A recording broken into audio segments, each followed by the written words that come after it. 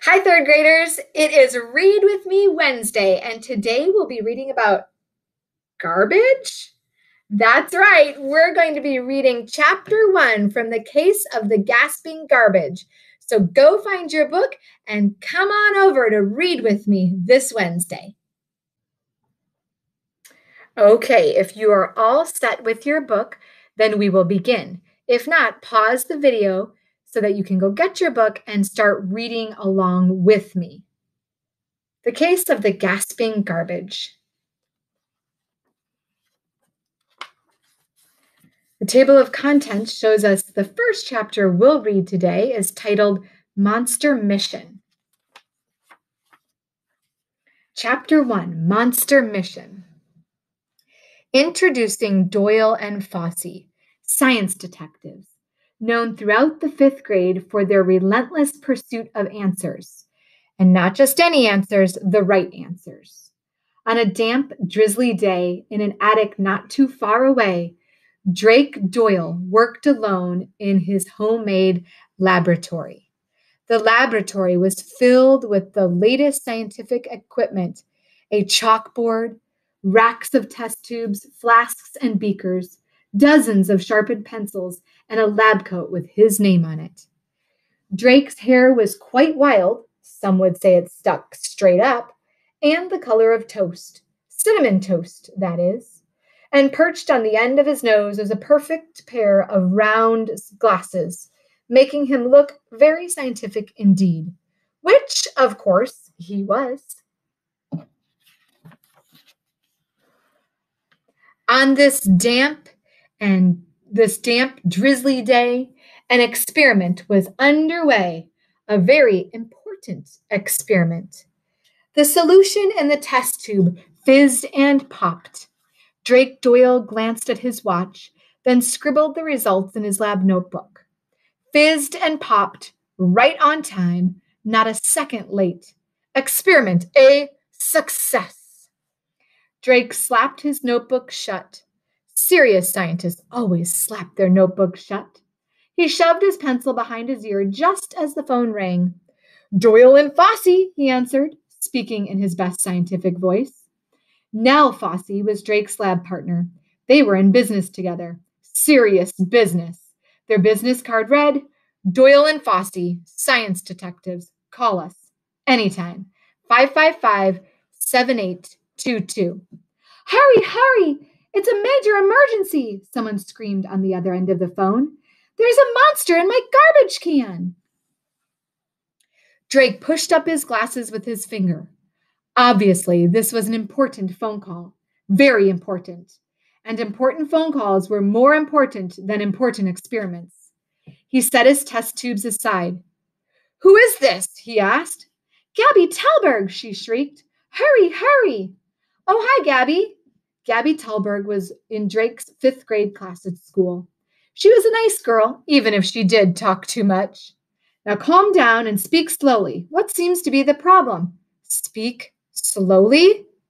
Are you nuts?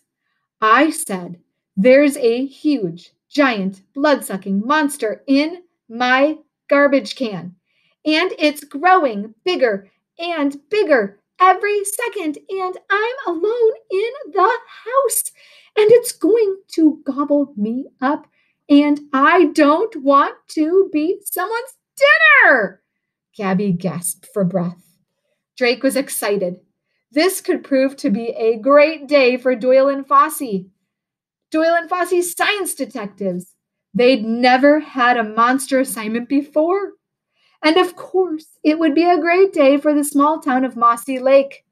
They'd publish their findings in the local newspaper. Garbage eating monster discovered. Mossy Lake's garbage problem solved.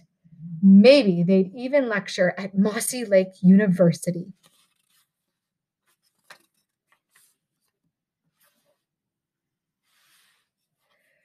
But Drake couldn't allow his excitement to overwhelm his good scientific sense. That was the first rule of science. And Drake was a stickler about rules of science. He cleared his throat and forced himself to speak calmly. What makes you think there's a monster? he asked. All kinds of gasping noises are coming from my garbage can. Something's inside. Hurry, Drake. You have to come over immediately and get rid of it. Because if you don't, I'll just have to call James Frisco. Great Scott, thought Drake, horrified. Not James Frisco. Frisco was in their fifth grade class at school. Frisco was a competitor. Frisco was a scientist, but he was a bad scientist. A very bad scientist. A mad scientist, you might say. Frisco's business card read Frisco, bad, I mean, mad scientist. Better than Doyle and Fossey. Call me, day or night. 555 6190. Why was Frisco such a bad, I mean, mad scientist? Because if Frisco didn't like a number, he erased it. Because if an experiment asked for pink, Frisco used blue. Because if an experiment called for two, Frisco used one or three. But most especially, because if an experiment said adult supervision required or else, Frisco did it anyway, alone. Drake knew that if Gabby hired Frisco, there was no telling what could happen. Knowing Frisco's sloppy scientific techniques, Frisco might let the monster out of the can, and he and Gabby would never be seen again. Gobbled in the blink of an eye. Drake, said Gabby. Drake, are you there? I said you have to come over immediately and get rid of it, or I'll or else I'll call Frisco. Check. I'll be right there. Click. Drake phoned Nell. She was the most fabulous partner an amateur scientist and detective genius could have. Whenever they had a serious case, Nell dropped everything and reported for duty. Doyle and Fossey, she answered, picking up the phone on its first ring. Drake here. Meet me at Gabby's house right away. Gabby's garbage is gasping. Right. Click. Nell was already waiting on Gabby's porch by the time Drake arrived. He wasn't surprised, as she was the fastest runner in the fifth grade. With her coffee colored hair pulled back in a no nonsense ponytail, ponytail, her scientist cap shoved atop her head, and her mouth set in a firm line, she looked ready to take on this most difficult case. Afternoon, Scientist Nell. Afternoon, Detective Drake. And so saying, Nell rapped sharply on the door. Inside Gabby's house, Gabby pointed to a dark corner of the garage. There, she whispered. There's the blood sucking monster. Inside that garbage can. Hurry up and get rid of it before it eats us all. Suddenly, the garbage can gasped. It trembled. It burped and yerped. It belched and yelched. All in all, it was very scary indeed. Drake and Nell immediately went to work. They pulled on surgical gloves. Snap! Gabby edged toward the door. You're not going to take off the lid, are you? If there's a monster in, inside, Drake replied, removing the lid would be the most foolish. Now, stand back. We'll take it from here. They tapped the sides of the can. Sounds hollow, whispered Nell. She scribbled in her lab notebook and tapped again. Drake sniffed the air. Smells like fresh baked bread, he observed. Hmm, that reminds me. Miss Talberg, isn't your dad a baker? The best baker there is, answered Gabby. He won the blue ribbon last year at the county fair. Why? Just wondering, Drake muttered as he recorded his findings in his lab notebook. Meanwhile, Nell peered at the garbage can with her magnifying glass. She checked its temperature. She drew diagrams and charts. She was a most efficient scientist. Finally, Drake and Nell stood back and removed their surgical gloves. Snap! Well, asked Gabby. Puzzling, said Drake.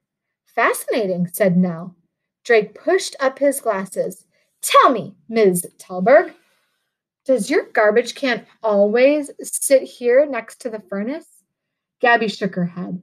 My dad moved it a few days ago. Why? It's very warm next to the furnace, that's all, said Drake. 87 degrees to be precise, added Nell. Curious, very curious, mumbled Drake. He jotted a note to himself in his notebook. What are you going to do now? asked Gabby. Nell and I will take the garbage can back to the lab for further analysis.